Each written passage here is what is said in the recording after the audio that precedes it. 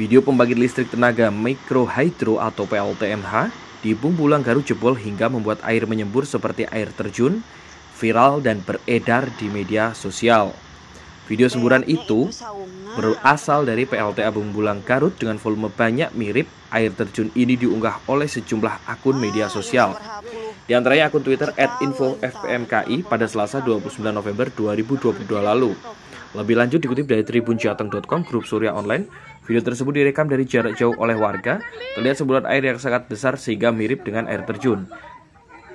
Dilansir dari kompas.com, insiden itu terjadi karena pipa penyalur air di PLTMH jebol.